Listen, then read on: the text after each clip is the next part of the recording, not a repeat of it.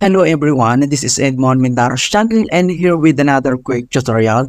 At sa video ito ay tuturo ko on how to block pop-ups, Android redirects, and Microsoft Edge web browser. So this should hopefully be a pretty straightforward process guys and let's go ahead.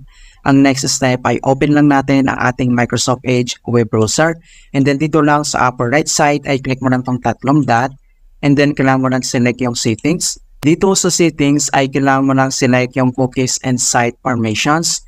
And then dito lang sa site permissions, scroll down at hanapin natin yung pop-ups and redirect. Ito siya. So click lang natin yan. And then kung paano ba natin ito i-block. So as recommended, kailangan lang natin itong i-turn on. And then ang susunod naman ay pwede tayong mag-add ng isang website na gusto natin itong i-block. So i-click mo lang itong add. Lagay lang dito yung kanyang link and then click mo yung add. Alright? And then, pwede rin tayo mag-allow ng isang website. So, click mo lang tong add. And then, ilagay lang dito yung kanyang website link. And then, click mo tong out. Alright, so ganoon lang po kasi mga kaibigan. And please, don't forget to like this video and subscribe to my channel for more helpful tutorials and tips. And if you have any questions or suggestions, please leave them in the comment down below. Thank you guys and see you in my next tutorial.